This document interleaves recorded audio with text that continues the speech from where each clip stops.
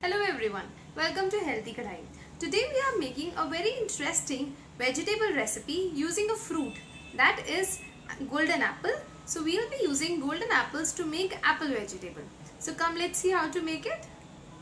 The ingredients required are we need two golden apples and rest are all the spices and condiments like salt, turmeric powder, red chili powder, cumin seeds, the, uh, these are methi dana, mustard seeds, coriander seeds, red chili and some sugar. Firstly, we have removed the center portion of the apple and then you need to peel it. After peeling it, we'll cut circular slices of the apple Firstly, we have taken non-stick pan and we have heated 1 tablespoon of mustard oil. To this, we will splatter cumin seeds and methi dana, the fenugreek seeds, along with mustard seeds. A pinch of everything would be just sufficient. To all the seeds we apple slices. Golden apple as you know has got both the sweet and sour flavor. So when we make vegetables out of them, so it tastes very very yum.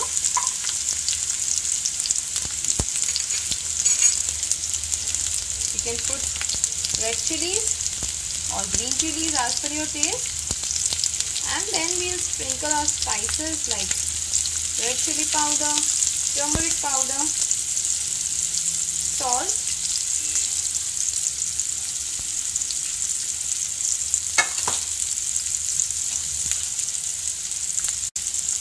and this is a vegetable masala.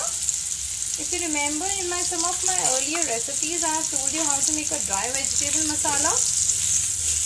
You can sprinkle it at this stage or even while serving you can sprinkle that masala. You can see the apples are now ready. To this, as a last step, we'll add 1 teaspoon of sugar. And that's about it. You need to cook it for another 1 minute. You can pour little water and we will cover it. After covering the pan, we'll cook it for just 5 minutes more and our vegetable will be ready. And now my golden apple vegetable is ready. You can see we have got a beautiful color and nice glaze as well.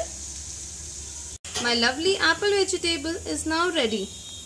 I have served it with original golden apples and I have made a small cute apple impression using the same masala I had used in the while making the vegetable. So try making this khatta meetha apple vegetable recipe and let us have your reviews. Thank you.